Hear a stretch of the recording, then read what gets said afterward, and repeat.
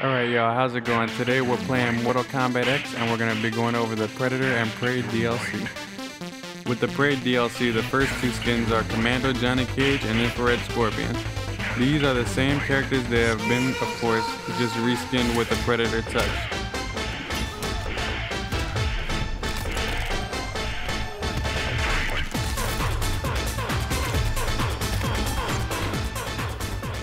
For the next skin, you may know him as Apollo Creed, you may know him as Chubbs, but in this DLC, Jax plays homage to Carl Weathers as Dillon! You son of a bitch. Now the one y'all been waiting for, Predator.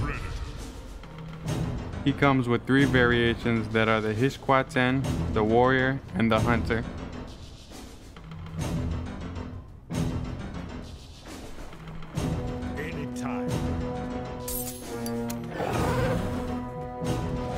Predator has an array of moves in his arsenal, including the Stealth move, Smart Disc move, and the Scimitar Slam.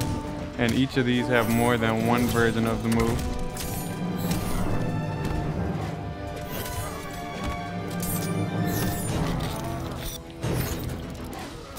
In the Hunter variation, you have the Snag Trap and the Med Kit. The Med Kit simply puts a little bit more health back on your bar. Next is the Warrior variation.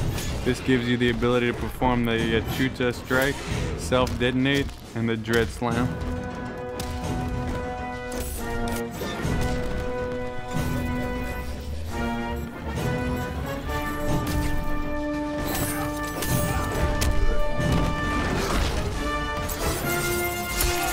Finally, we have the Hish-Qu-Ten, which displays the Plasma Shot and the Plasma Caster. And just like every character in the game, the Predator is no exception to having an X-ray move.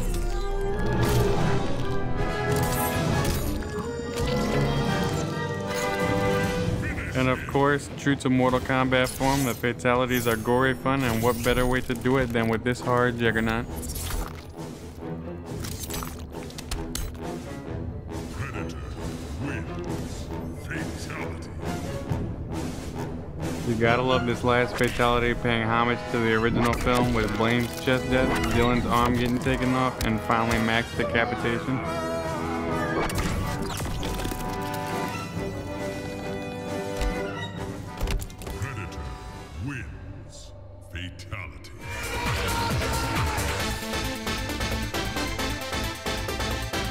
Alright y'all, thank you for watching the video. If you enjoyed it, please hit the subscribe button, hit the like button, leave a comment below, and be sure to check back for videos because we'll be posting them frequently.